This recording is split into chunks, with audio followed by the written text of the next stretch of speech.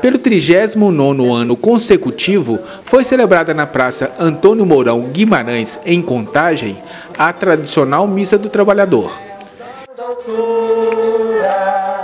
Presidida pelo bispo auxiliar Dom Luiz Gonzaga Vecchio, a missa teve a participação de fiéis de toda a região e de todas as idades. As graças de Deus, São José, completei 85 anos, dia 12 de abril. Eu estou agradecendo a Deus. Os fiéis compareceram para rezar e celebrar o Dia do Trabalho e o Dia de São José Operário, Pai de Jesus Cristo. Eu te peço, meu Senhor, especialmente nesse dia, abençoa a vida e a luta de todo o trabalhador, de toda a trabalhadora.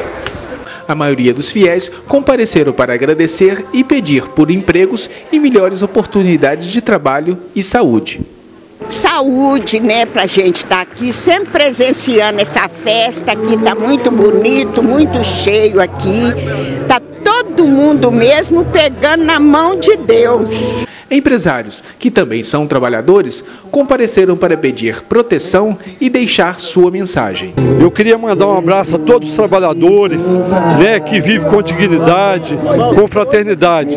O dia de hoje é importante para todos o governo possa refletir sobre a justiça social, sobre as perdas do trabalho que eles estão tendo, de salário. O executivo da SP com lutas confirma o aumento do desemprego na indústria metalúrgica de contagem.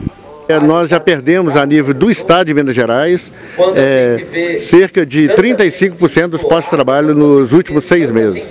Então, a, aqui em Contagem também é, há uma, uma, um grande processo de desemprego na indústria, principalmente a indústria metalúrgica, né, que é o coração aqui da produção de Contagem. O sindicalista lamenta não ter muito a comemorar no Dia do Trabalhador. Ele confirma novos protestos.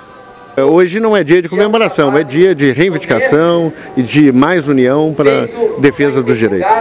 As centrais sindicais é, estão apontando o dia 29 de maio como um dia de paralisação nacional é, em defesa dos direitos. Após a missa, Dom Luiz falou sobre a importância da celebração.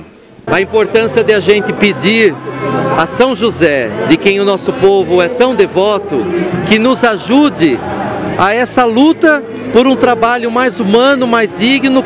A nossa equipe de reportagem tentou gravar com o prefeito de Contagem a sua mensagem aos trabalhadores. Nós estamos aqui na tentativa de falar com o prefeito.